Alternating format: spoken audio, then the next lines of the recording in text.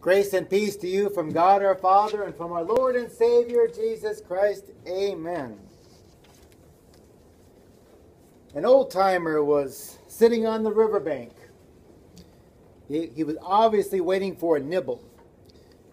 And although the fishing season had not started yet, though, there was a uniformed officer standing right behind him. Stood there for several minutes. Finally, the old timer inquired, are you the game warden? Yep. The unruffled, the old man just kind of sat in the shore and waved his fishing rod back and forth, pulled it up, and finally he says, I'm just, there's a little minnow on there. I'm just teaching him how to swim. Mark Twain once spent a pleasant three weeks in Maine in the woods, but now was on his way home. As he was making himself comfortable on the train on the way back to New York, a sour faced New Englander sat down beside him. And he struck up a conversation. Been to the woods yet? The stranger had asked. I have indeed, replied Twain. And let me tell you something. It may be closed season for fishing up here in Maine, but I have a couple hundred of pounds of the finest rock bass you have ever seen iced up in the back car. By the way, who are you, sir? I'm the state game warden. Who are you? Twain replied, Oh, pleased to meet you. Who am I? I'm only the biggest liar in, in this part of the United States. Stories like that, you hear all kinds of fishing stories. I caught a 12 inch fish. And they point out their arms are stretched out about 36 inches. There's all these fishing stories. All the, you see going to the stores and they, they got talking fish and they got all, you know, everything is, you know, fishing. If you want to have something to fish, they got the bait, they got the fish rod, they got everything you possibly can. And there are some ardent fishermen out there that, by George, they will look to see what the barometric pressure is doing, to see which way the wind is out of. Is it going to be cloudy or sunny, or all these atmospheric things? And they really do an effort into fishing for fish.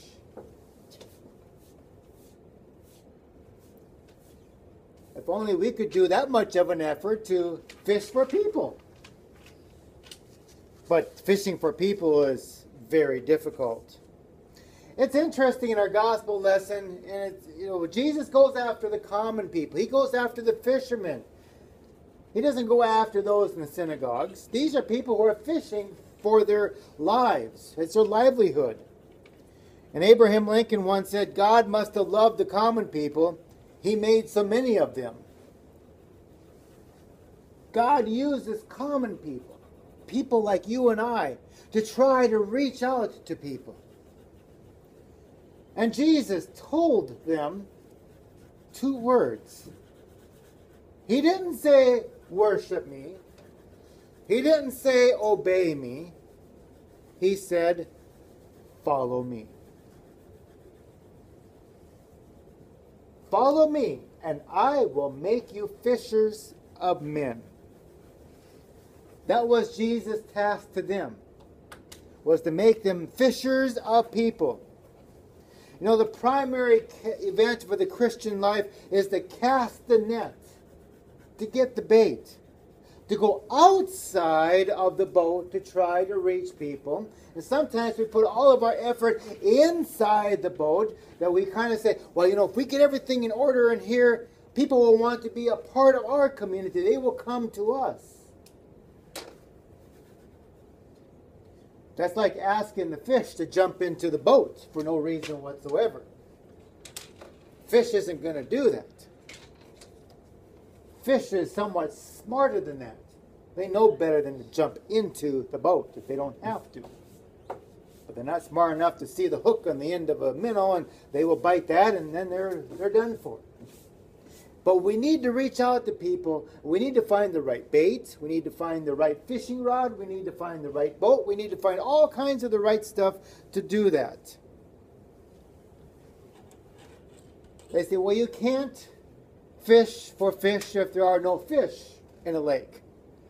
If you go to a lake and, oh, there's no fish there, you'll hear that, yeah, don't go fishing over there, there's no fish biting over there. And people will sometimes look at it and say, well, you know, everybody around here has a church home already.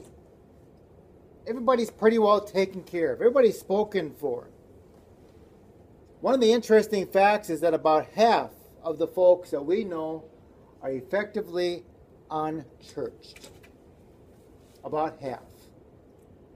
And if you think about it, that is so true. Because how often sometimes do you see people in church? Well, the church gets pretty full at funerals. Maybe a wedding. Maybe Christmas or Easter. You might get a few extra people. Then they're gone.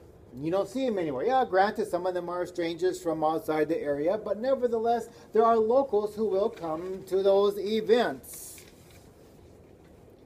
So basically, we have to find out when the fish are biting.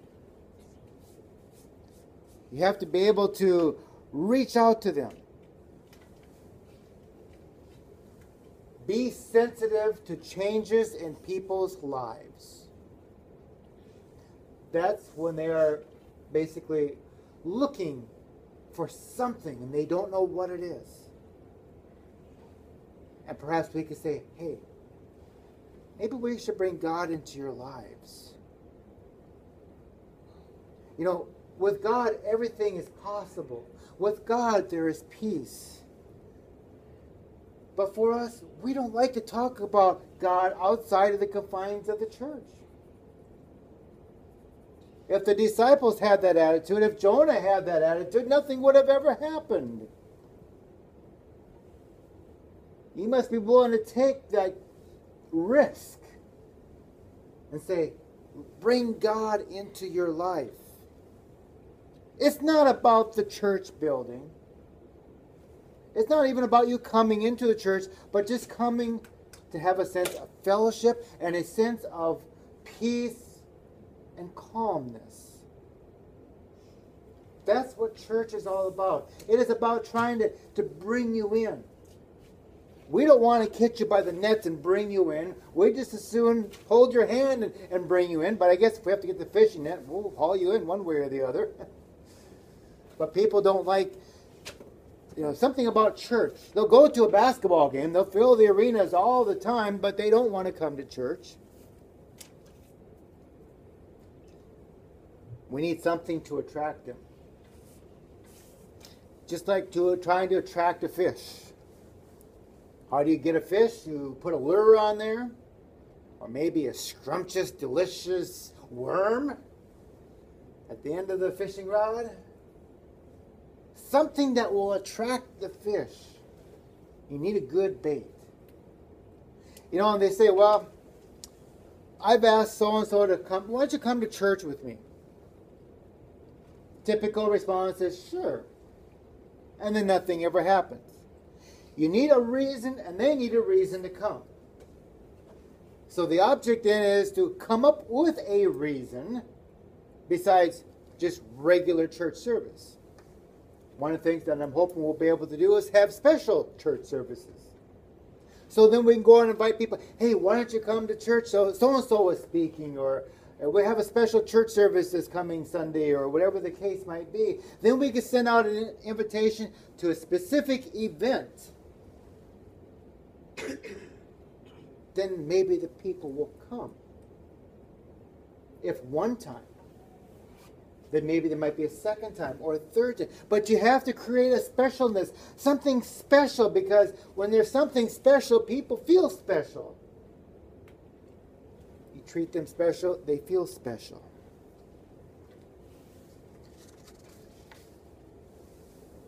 We need to look outside of the corporate environment of the church and try to reach the outside of the church.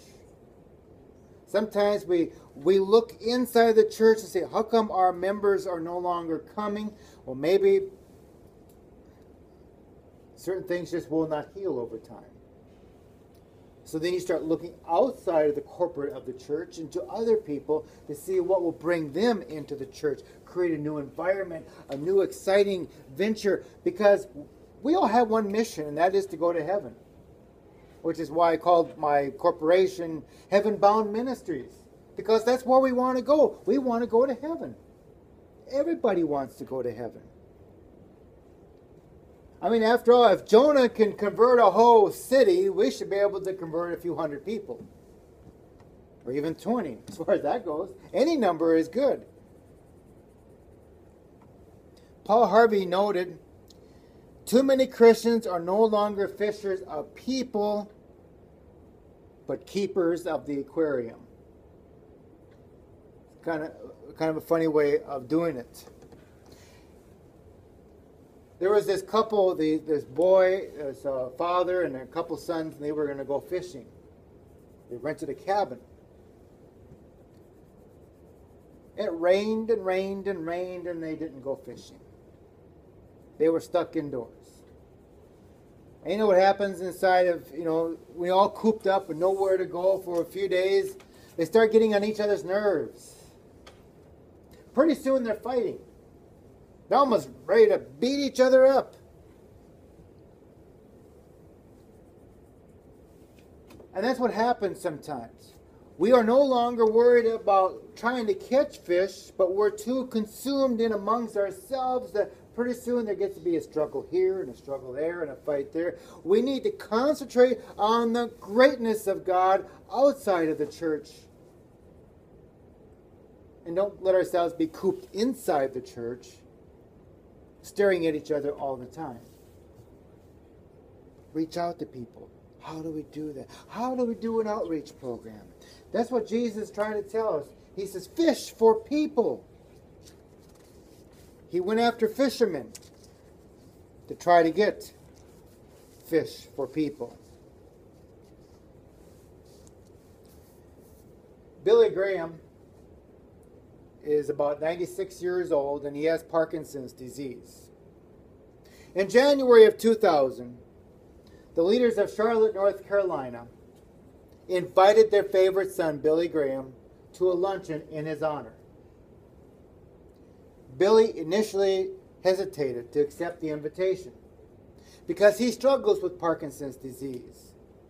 But the Charlotte leaders said, We don't expect a major address, just come and let us honor you. So he agreed. After wonderful things were said about him, Dr. Graham stepped up to the podium, looked at the crowd, and said, I am reminded today of Albert Einstein, the great physicist, who this month was honored by Time magazine as the man of the century. Einstein was once traveling to Princeton on a train when the conductor came down the aisle, started punching the tickets of every passenger. When he came to Einstein, Einstein reached into his vest pocket, couldn't find his ticket. He reached into his trouser pockets, couldn't find his ticket. It wasn't there. He opened up his briefcase, no ticket in there. He couldn't find it. He looked in the seat beside him, everywhere. He couldn't find his ticket. The conductor said, Dr. Einstein, I know who you are. We all know who you are. I'm sure you bought a ticket. Don't worry about it. Einstein nodded appreciatively. The conductor continued down the aisle, punching tickets. As he was ready to move on to the next car, he looked back and he seen that Dr. Einstein was on his hands and knees looking underneath the seat. The conductor rushes back. Dr. Einstein, Dr. Einstein, don't worry. We know who you are. No problem. You don't need a ticket. I'm sure you bought one. Einstein looked at him and said, Young man, I too know who I am. What I don't know is where I am going. Having said that, Billy Graham continued. See the suit I'm wearing? It's a brand new suit.